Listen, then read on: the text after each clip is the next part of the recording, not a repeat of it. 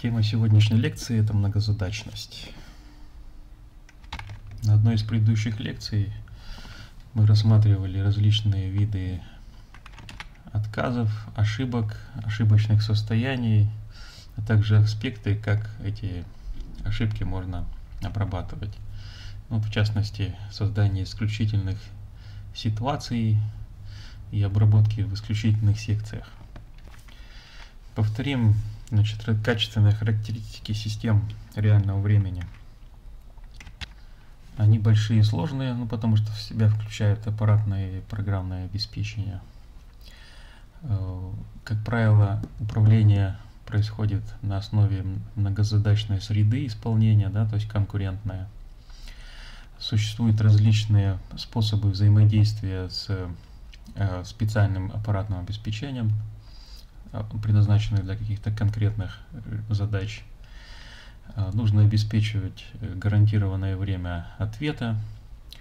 Эти системы должны быть экстремально надежными во всех смыслах слова надежность. Ну и также их реализация должна быть эффективной. Задача этой лекции состоит в том, чтобы проиллюстрировать различные требования к конкурентному программированию, продемонстрировать все разнообразие моделей для создания таких процессов. Ну и также сделать некоторые основания для изучения взаимодействия между процессами. Это называется Interprocess Communications. Содержание презентации. Значит, что такое, собственно, многозадачность, зачем она нам нужна, циклическое выполнение ну, функциональных блоков, поддержка времени выполнения, типы процессов, состояние процессов и представление процесса внутри исполняющейся программы, ну то есть вот этих данных о процессе. Конкурентное программирование – это имя данное значит, такому процессу программирования и техническим средствам для выражения потенциального параллелизма и решения различных задач синхронизации и коммуникационных проблем. Ну, то есть, например, есть у нас некоторая задача, да, в нем можно э, две параллельные два параллельных процесса управления реализовать, да, и эти процессы, в общем-то, с первого взгляда независимыми. Так вот, задача именно реализации вот этого параллелизма, это как раз относится к конкурентному программированию. Собственно, реализация параллелизма включает в себя решение задач, в том числе создание аппаратного и программного обеспечения, которые существенно не зависят от э, самой сути создания программных вот этих параллельных систем. Ну, то есть это набор средств для их создания, в частности. То, что относится к конкурентному программированию, оно обеспечивает вот именно разработку самого процесса без, э, так скажем, привязки к конкретным деталям реализации. Что вообще под параллелизмом понимается? Ну, во-первых, моделирование параллельных процессов реального мира. Вот, и виртуально все системы реального времени являются параллельными, то есть основаны на конкурентном программировании, из-за того, что вот эти вот устройства, они по своей сути, по своей природе функционируют параллельно друг другу. Ну и третий вариант – вот, э, определение, что такое параллельное программирование, это возможность выражать потенциальный параллелизм таким образом, чтобы компьютер мог быть использован для решения определенных задач. То есть нескольких задач параллельно, либо несколько компьютеров, чтобы работали над одной задачей. Ну, на этом слайде приведен пример решения одной задачи несколькими вычислительными системами. То есть это система резервированием билетов на самолеты. Ну, то есть есть разные информационные системы, они взаимодействуют с процессами непосредственно резервирования. Они вот взаимодействуют друг с другом непротиворечивым образом, ну, чтобы нельзя было э, одно и то же место, грубо говоря, зарезервировать. Вот, и все это хранится в одной общей базе данных. Значит, как происходит взаимодействие между устройствами ввода-вывода, то есть это устройство, обеспечивающее взаимодействие с э, микропроцессором внешних устройств. То есть э, значит, некий параллельный процесс требует вмешательства. Вот, например, скажем, процессором мы хотим какой-то сигнал обработать и потом э, в зависимости от результатов осуществить некоторые регулирования. Либо наоборот, например, идет у нас вычислительный процесс и происходит какое-то событие. Это событие прерывает процесс исполнения программы, э, происходит обработка этого прерывания, то есть взаимодействие с устройством, и процессор продолжает работу. То есть и э, использование микропроцессора устройством по этой схеме работает, так и э, обработка э, вот этой вот самой информации, приходящей от устройства в определенный момент времени, э, обеспечивается вот при помощи вот этих вот систем прерываний. Ну вот на момент издания этой презентации как раз марсианские роверы готовились к отправке на Марс. И вот э, какие функции должны быть при, присутствовать на марсианском ровере. Причем эти функции, понятно, что выполняются независимо друг от друга, то есть конкурентное исполнение. Значит, первое это эм, сканировать окружающую среду, то есть рельеф, и отображать его на своем пути. Значит, получать различные данные от сенсоров, то есть вход от сенсоров – Э, относящиеся к тому, как там э, колеса взаимодействуют с поверхностью. А, обеспечивать управление питанием, подача на тот или иной мотор, да, и измерение различных характеристик окружающего воздуха, то есть температуру, освещенность, но это, конечно, не к воздуху относится. Ну и также обследовать какие-то конкретные частички на Марсе. И в том числе передачу информации с Земли э, на ровер и обратно. Например, команды типа ну давайте-ка такие разблокируем эту тупую антенну. И входные сигналы при их обработке, они могут каким-то образом соотноситься друг с другом, либо быть независимыми. Программное обеспечение должна э, вовремя выдавать ответы, ну, в соответствии с дизайном этой системы, на все входящие сообщения. Значит, терминология, относящаяся к параллельному программированию. То есть параллельная программа, она представляет собой набор автономных последовательных процессов. Эти процессы логически выполняются параллельно, ну то есть независимо друг от друга. И э, для каждого процесса в операционной системе представлено средство снабжения этого процесса вычислительным временем. Ну, по идее это называется нить, да, конкретно, то есть легковесные процессы, что-то подобное. Ну, вот здесь это называется нить управления. Вариантами реализации конкурентных программ, да, то есть их э, запуска как коллекции процессов вот, э, рассматриваются в Computer Science, например, мультипрограммирование, мультипроцессинг и, дис... и распределенные системы. Мультипроцессинг, ну, к ним, например, кластеры относятся, то есть когда у нас несколько, несколько процессов, и каждому процессу передано управления каким-либо вот этим какой-либо задачей. Мультипрограммирование это вариант реализации мультипроцесса, мультипроцессинга, когда отдельный процесс это отдельная программа. Она может в принципе реализована быть на каком-то своем языке программирования. Реализовать параллельные вещи то есть что-то исполняющееся в одно и то же время можно двумя способами. Первое это просто запуская каждый отдельно процесс друг за другом последовательно, например, в каком-нибудь цикле. И суммарно это получится э, некий вариант последовательного программирования.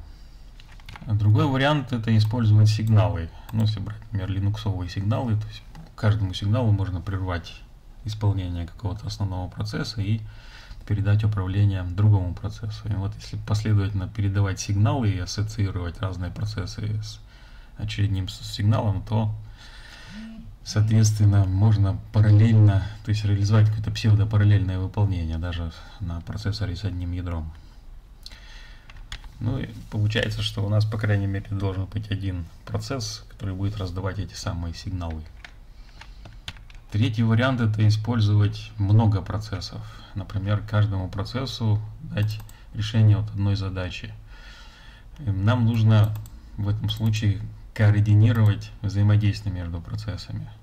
Вот если бы у нас по первому варианту исполнялось, да, когда мы последовательно друг за другом процессы выполняем, то у нас не будет, например, проблемы с координацией доступа к общим ресурсам, потому что только один процесс выполняется в одно и то же время. Ну и тут могут быть возникать проблемы, связанные с производительностью, масштабируемостью. Использование небольшого количества процессов, в этом случае создаются несколько процессов, ассоциированных с, ну, с каким-то одним параллельным независимым потоком исполнения, но в каждом таком процессе находится несколько э, подпроцессов, э, выполняющиеся, например, э, последовательно, да, и вот получается в этом случае у нас упрощается вот эта вот сама система, в том числе вот система обеспечения взаимодействия, синхронизации внутри вот этих наборов процессов. И при этом нам не нужно большое количество процессов. То есть такая система потенциально она более масштабируемая. Ну и использование, то есть отдельно здесь ставится использование POSIX treats, то есть легковесных процессов, которые можно создавать внутри э, процесса операционной системы для, созда... ну, для решения как раз параллельных задач, параллельных основному процессу исполнения. Значит, циклическое исполнение – его традиционно реализовывать на языках программирования общего назначения, например, Pascal, C, Fortran, Cabol. Они изначально последовательные. Но кто изучал параллельное программирование, OpenMP, например, Open Multiprocessing, то вот эти вот OpenMP расширения, да, то есть это само программирование, оно является расширением языка C и Fortran. То есть их, э, вообще говоря, очень неправильно было бы включать именно в сам язык программирования вот эти расширения. Значит, эмулировать параллельность можно путем значит, циклического запуска отдельных подпрограмм для того, чтобы обрабатывать э, очередь поступающих, например, сообщений, да, ну или выполнять какую-то конкретную работу. То, что здесь обозначено как activities. Пример – это обработка информации из джойстика. Джойстик довольно медленное устройство, поэтому мы, в принципе, можем создать некоторый цикл, то есть считать данные с клавиатуры, вычислить позицию очередную нашего игрока, да, и перерисовать дисплей.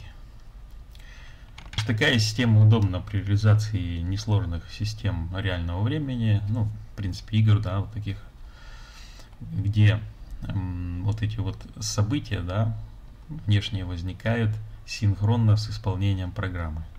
Ну или, по крайней мере, так могут быть обработаны. Ну, если проанализировать такой подход, он, понятно, будет основан на бесконечных циклах. Для улучшения качества обработки для используемых алгоритмов, да, нам нужно, чтобы цикл вращался как можно быстрее. Но это, в свою очередь, приводит к большому потреблению ресурсов, ну, в частности, электричества, да, вот power consumption. И может быть такой подход неприемлем, когда, скажем так, есть некоторые разделяемые ресурсы. Ну, то есть вот этот вот цикл, он блокирует этот ресурс, и к нему больше никто не может получить доступ. Ну, имеется в виду из параллельного мира. Виду из параллельных процессов. Цикл должен достаточно быстро исполняться, да, для того, чтобы обрабатывать э, события, приходящие с высокой частотой. И вообще говоря, это бывает очень трудно достичь. Плюс еще надо, чтобы вот эти события, они в каком-то смысле гармонировали с процессом вычислений. Для событий, которые приходят нечасто, надо периодически отвлекаться от основного цикла и делать вот этот вот запрос, периодически узнавать, есть ли какие-то задачи, которые нужно еще обработать. Ну, вот это классическая модель программирования в Macintosh. Ну, Macintosh, как мы помним, у них есть, например, диски были, дискетки маленькие, четырех, там три с половиной дюйма, по-моему, они назывались.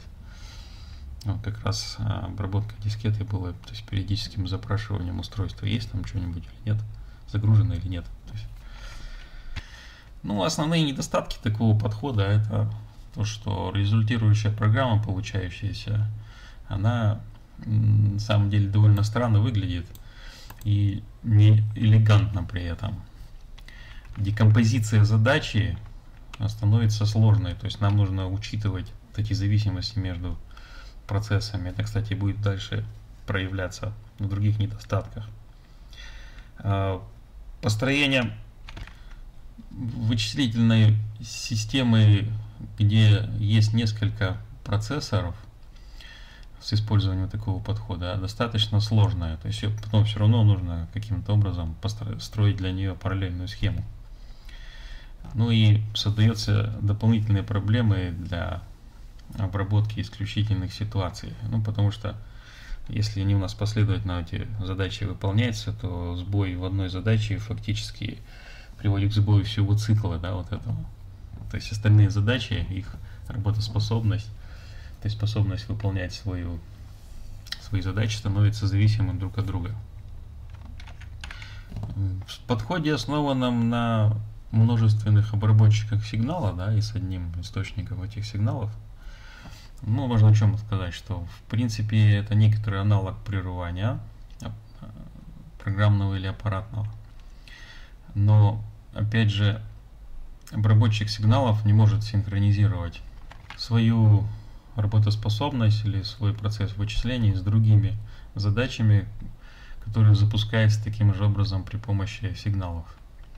И по сути говоря, тут все равно у нас присутствует всего лишь одна задача в результате. Но когда мы будем синхронизацией заниматься, то это все равно приведет к тому, что мы получим всего одну задачу по первому варианту. Если сигнал, обработчик сигнала блокируется, да, то блокируется полностью вся программа, и мы получаем зависшее приложение. Ну и некоторая дополнительная информация будет приведена дальше. Ну, здесь приведена одна из возможных моделей состояния процесса. То есть процесс может быть находиться в состоянии не запущен, переходить туда-обратно в состояние created. Ну, понятно, что сначала он создается, а потом уже переходит в состояние не запущен. Ну вот. Э, дальше один из вариантов, он может быть проинициализирован, ну, это такая более богатая модель по сравнению с теми, которые я приводил в предыдущих лекциях. Может быть э, запущен, может быть остановлен, может, может быть представлен как несуществующий среди процессов исполняемых. Тут, кстати, почему-то нет состояния готов к исполнению. Ну, это, наверное, какая-то более общая модель. Следующим подходом это вот создание некоторой поддержки да, на, на уровне операционной системы, аппаратного обеспечения, да, поддержки именно системы реального времени. То есть у него он похож на некоторую подсистему операционной системы, связанной с разделением ресурсов, ну вот шедулер, является Э, взаимодействие между, то есть обеспечивает взаимодействие между аппаратным программным обеспечением. И вот этот внутренний алгоритм разделения ресурсов, да, он, вообще говоря, влияет на поведение программы во времени. С точки зрения повышения качественных характеристик программного обеспечения, то есть управления, необходимо, чтобы э, программа, ее структура, она, ее поведение не зависело от той среды поддержки э, систем реального времени, на которых она исполняется. Вот эта вот среда поддержки реального времени, ее можно реализовывать, например, на уровне языка программирования, как часть этого языка программирования. Вот в свое время, то есть в конце 80-х годов, Николасом Виртом была разработана модула 2. Вот внутри модула 2 были специальные конструкции как раз, например, для создания параллельных процессов и обеспечения их взаимодействия. Вторым вариантом может быть это реализация каких-то специальных конструкций внутри компилятора. Ну, тут как раз пример можно привести в современный OpenMP. То есть мы берем программу на C, так определенным образом ее размечаем. И в случае, если компилятор поддерживает создание параллельных процессов, то компилятор порождает программу, где на каких-то этапах эти процессы создаются, синхронизируются определенным образом. Если же он не поддерживает, то строится последовательная программа. Ну и следующий вариант это поддержка на уровне аппаратного обеспечения. Вот, ну вот пример, вот язык ACAM2. А, он, ну, в 86 с 86 по 89 год была разработана такая система вычислительная на основе транспьютеров. То есть каждый транспьютер представлял собой довольно простое вычислительное устройство с очень небольшим количеством команд, ну типа риск процессора. Но самое интересное в нем было в том, что с другими транспьютерами он взаимодействовал по четырем двух мегабитным каналам. Там, по-моему, ну да, 2 гигабита, мегабита было, то есть не очень большая скорость, но зато они были очень дешевые. Из них можно было делать различные сети взаимодействующих вот этих устройств. И вот возникла проблема, каким образом сети можно программировать. И вот изобрели язык Аккама. Ну, можете в интернете найти довольно интересный такой язык. Он, э, свойства его восходит к структурному программированию. Программа представляет собой дерево, ну как в языке там C, Pascal, правильно организованный, но только в каждом узле этого дерева находится специальное ключевое слово, каким образом вот эти подпроцессы, то есть в поддереве, то есть поддерево это набор процессов или каких-то элементарных операций. И вот каким образом организовывать вычислительный процесс в своем поддереве, как раз узел и указывал. То есть бывают узлы параллельным выполнением пар большими буквами, последовательному секу, или и еще бывает alt, альтернативные варианты. То есть, если один из поддеревьев да, выполнился, то можно считать эту задачу решенной. То есть программа представляла собой такое вот дерево на этом языке. Также можно обеспечить вот эту поддержку реального времени на основе операционной системы. При этом она должна обеспечивать такое понятие, как процесс. Должна быть виртуальная машина. Она позволяет обеспечивать взаимодействие между процессами и абстрагироваться от уровня аппаратного обеспечения. Ну так, чтобы одна и та же программа могла выполняться на разных компьютерах с разными там устройствами, но, по крайней мере, чтобы у них класс был одинаковый. Вот. И современные операционные системы, они в себя включают возможность создания легковесных процессов. Их же называют еще нитями, их же называют еще потоками исполнения легковесными. Они могут существовать в рамках одной виртуальной машины, и они могут получать доступ к ресурсам неограниченный. И программист и язык должен обеспечивать возможность э, защиты от, э, скажем, интерференции этих процессов. Ну, это отдельная задача, это задача отдельной лекции. Также некоторые вот эти нити могут создаваться в операционной системе таким образом, что другие процессы их не видят. Ну, тут приведен пример с Windows 2000, где были ну, собственно, нити, видимые для ядер, и вот уровни, которые были невидимые. Ну, я, честно говоря, сам не сталкивался с таким феноменом. Может быть, поэтому и не видно было их. Значит, программа параллельная состоит из э, различных конструкций. Ну вот основные средства создания параллельных программ это способ выражения параллельного запуска или исполнения, да, с, при помощи понятия процесс или на основе понятия процесс. Значит, за, решение задач синхронизации и взаимодействия между процессами.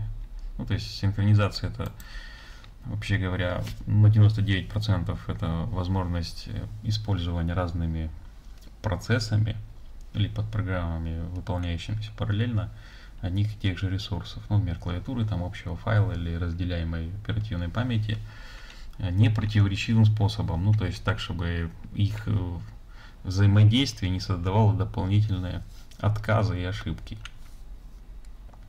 Значит, также вот это вот взаимодействие между процессами подразумевает communication, да, возможность передачи информации. То есть какие-то определенные точки существуют, и в этих точках процессы останавливаются, синхронизируются, и после передачи информации происходит дальнейшее параллельное их вычисление. Процессы могут быть независимыми, кооперирующимися и конкурирующими. Ну, в частности, конкурирующими за ресурсы. Ну, кооперирующие, то есть выполняющие, например, одну общую задачу, разделяя, например, данные кусками между друг с другом, либо передавая их в определенной последовательности. Ну, также к свойствам процессов относятся вот такие аспекты, как структуры данных, да, то есть структуры могут быть фиксированные, известные в момент э, компилирования программы, либо динамические, то есть создаваемые в процессе выполнения. Вот. А также эм, организация иерархии между процессами. То есть бывают процессы вложенные друг в друга, дочерние, там родительские, например, или там родительский порождает дочерние, и плоские, то есть они могут взаимодействовать друг с другом, но там нет отношения иерархии. Ну вот на, в этой таблице приводятся различные варианты реализации. То есть, например, язык программирования конкурент Паскаль, в нем статические структуры и уровень взаимодействия между процессами плоский. А кам тоже статические структуры, но процессы можно организовывать иерархические структуры. Ну, модуль 1.2 как наследник Паскаля, и C как наследник Алгола, в том числе и Паскаля в какой-то степени. Хотя исторически это не совсем так, но в принципе они примерно схожие по уровню языки, что у них, соответственно, есть возможность создания динамических структур данных, и у них, значит, внутрь встроена именно в сами языки плоская модель. Ну вот язык ADA и Java, они отличаются от предыдущих двух, то что здесь можно создавать иерархии процессов. Следующий аспект характеристики процессов это гранулярность. Ну, то есть насколько много процессов на одну, на, то есть сколько можно подпроцессов, скажем, в одном процессе породить. Вот такие характеристики. То есть вот есть грубый, то есть ADA, POSIX, TRITS и Java к ним относятся. Либо, значит, мелко гранулярный, гранульный, да. Это вот OCaml 2, и еще можно сюда сейчас привести более-менее современный язык программирования Erlang. Там на каждый, он функциональный язык, и на каждую запуск функции, по сути говоря, создается легковесный процесс. И в случае, если этот процесс вдруг внутри в нем происходит ошибка, да, то он просто выкидывается из основного процесса, а параллельно ему процессы выполняет программа. Ну а также значит, по аспекту процедуры инициализации процесса разделяется на процессы, которым передаются параметры, либо процессы, взаимодействующие в рамках межпроцессного взаимодействия. То есть мы либо на вход что-то подаем, да, вычисляем потом на выход, либо, значит, это процесс, который получает информацию уже когда исполняется. Процессы могут останавливаться разными способами. Например, они закончили свое вычисление, и то есть больше нет входных данных, все выходные данные выданы, зачем требовать дополнительного вычислительного времени, его просто нужно закончить. Либо процесс может самотерминироваться, то есть суицидный процесс. Ну, например, была найдена какая-то ошибка, так и не имеет смысла какой-то его исполнять. То же самое, только в случае, если ошибка является системной. Вот, э, например, э, попытка доступа в запрещенную область памяти с точки зрения операционной системы это отвратительное поведение процесса, и она его сама завершает. Еще один вариант это возникновение какой-то ситуации, при которой операционная система не может обработать. То есть в предыдущем случае операционка вроде понимает, да, что происходит. А с другой стороны, она понятия может не иметь, но вот в частности, примером Untrapped Error Condition может быть исполнение неизвестной инструкции. Вот. То есть тут... Ну, на самом деле операционка, конечно, она создает что-то вроде вот этого варианта. То есть процесс останавливается, выкидывается из памяти. Отладчика можно перехватить, кстати, посмотреть, в чем проблема.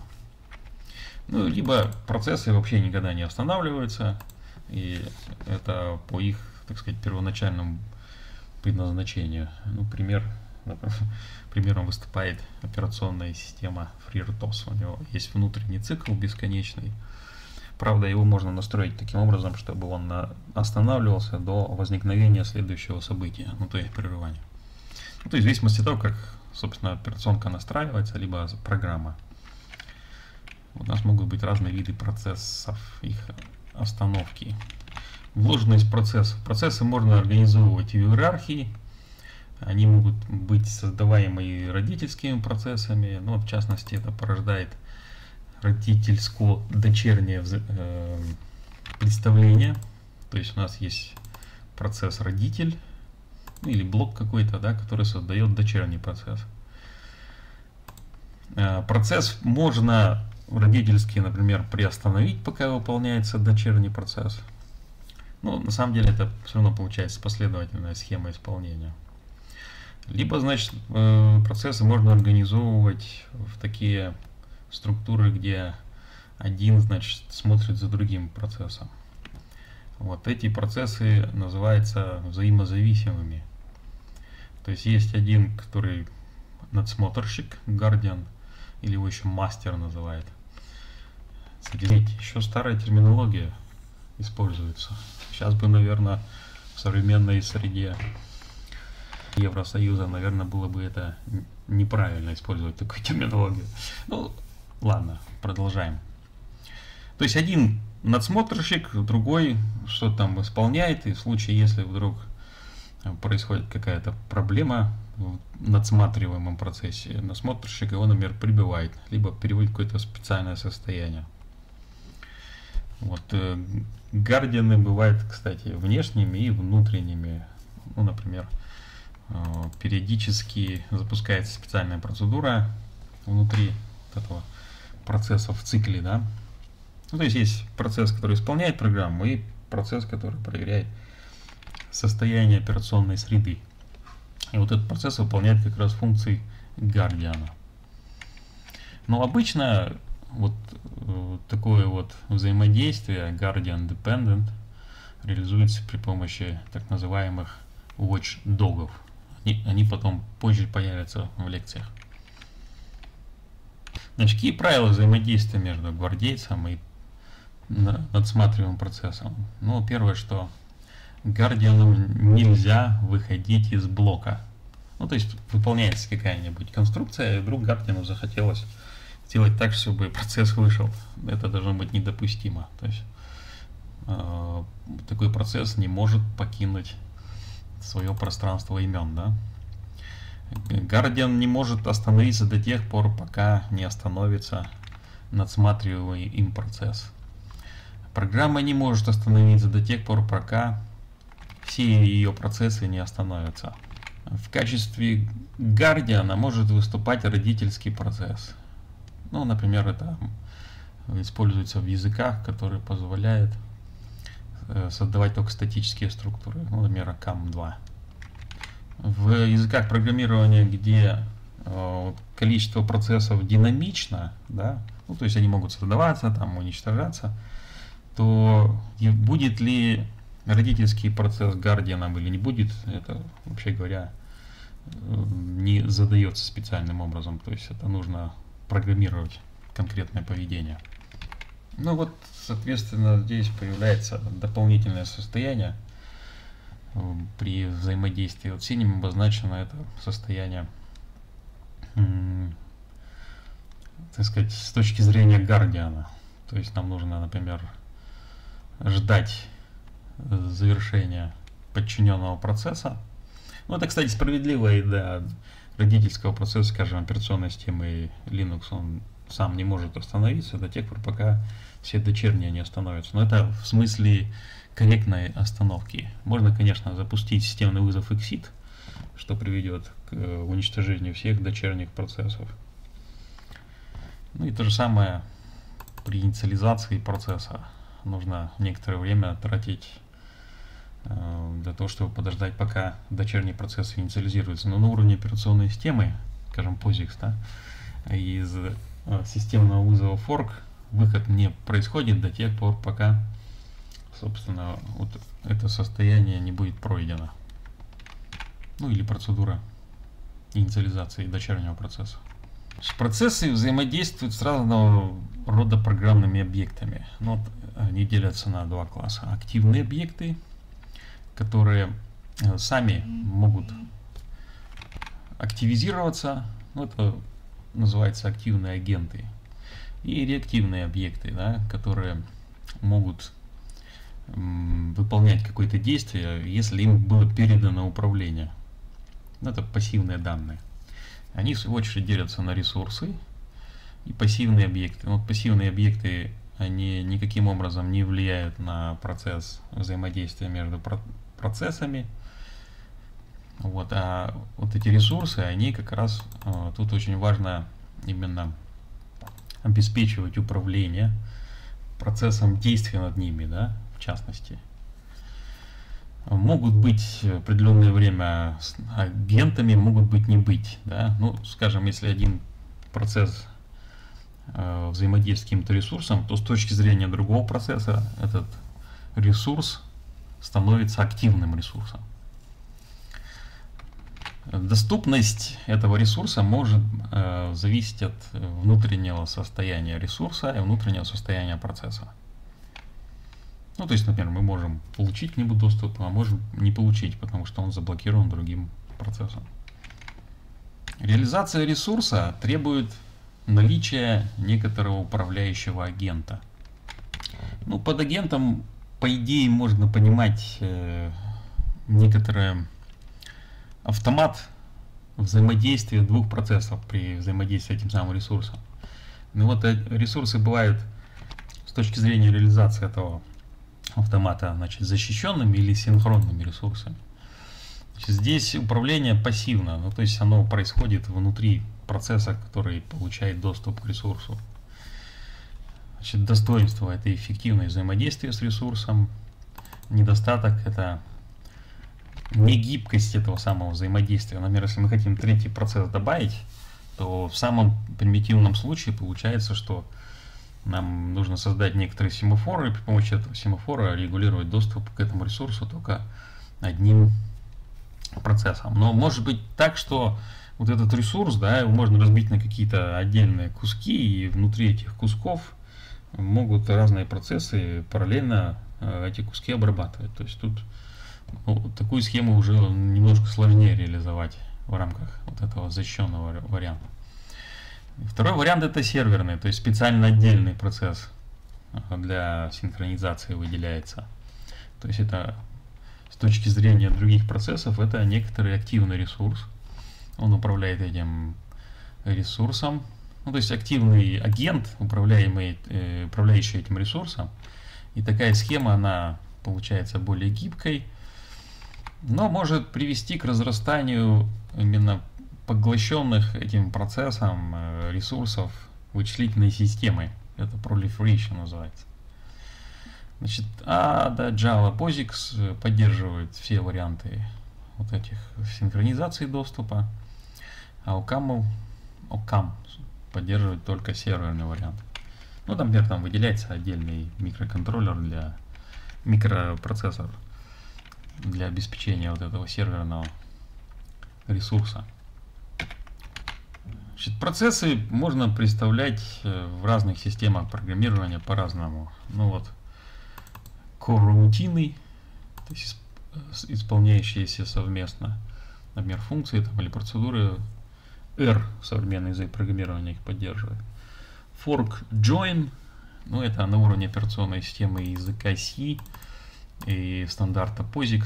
Значит, мы при помощи форка создаем процесс, а join э, производим ожидание завершения дочернего процесса. CoBegin это совместное на, на, начало процесса, ну это вот в языке модула в том числе ADA используется. Ну и также explicit process declaration, то есть это представление, ну то есть один из вариантов вот этого подхода явного представления процесса это э, разработка одной программы как одного процесса. Ну, на этом слайде представлен вариант как раз создания со вот этих параллельно выполняющихся подпрограмм короутинов. То есть у нас выполняется одна программа, запускается программа B, при этом параллельно происходит дальнейшее выполнение. И в разных местах, тут, по-моему, не обозначено немного это, эти короутины, они еще могут друг другу информацию передавать. И вот, в зависимости от наличия ресурсов, ну то есть если у нас, например, свободные ядра, да, то мы либо создаем параллельную, конкретно параллельную физическую схему, либо псевдопараллельную, то есть где определенные куски времени выделяется на выполнение той или иной нити. Караутины, ну то есть ко-процессы, они похожи на подпроцессы, но управление передается им в некоторым симметричным образом. Процессорное время, ну то есть начало в том числе их, их э, исполнения, оно начинается с того, что выполняется команда resume, ну, то есть переводится из спящего режима в исполняющийся. Значит, в core-рутинах нету, как правило, выхода из нее. То есть это, например, какие-нибудь процедуры с циклом внутри, выполняющие что-то. И по, по мере, так сказать, исполнения они получают какие-то данные, выполняют ее и возвращают. Э, значит, у этих ко-процедур есть область памяти, которая сохраняется между последовательными их запусками. Ну, то есть, по сути говоря, цикл, да, то есть в какое-то время он приостанавливается, так, но память это сохраняется. И в следующий раз, когда мы опять их активируем, мы можем вот эту память использовать. Например, какие-нибудь значения там накапливать. Вычисление копрограмм останавливается, как только процессорное время заканчивается на их исполнение. Значит, пример это модула 2. Но эти вот корутины, которые я только что представил, они не совсем похожи на корутины Go. Вот, ну, надо с этим тоже поразбираться.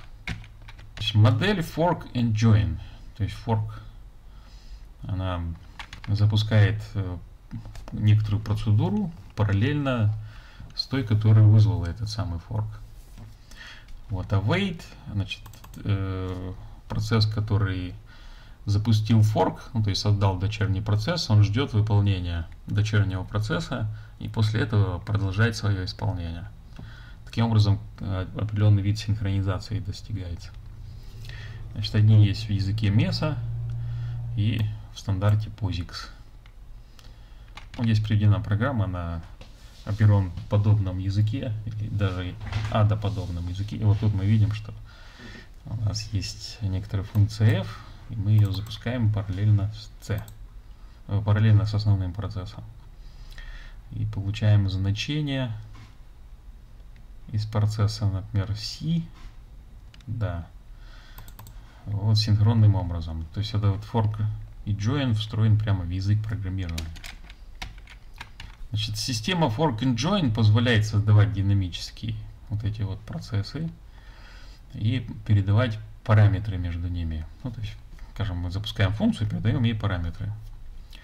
Э, как правило, вот этот дочерний процесс, он возвращает какое-то одно значение вот, сразу после завершения этого процесса.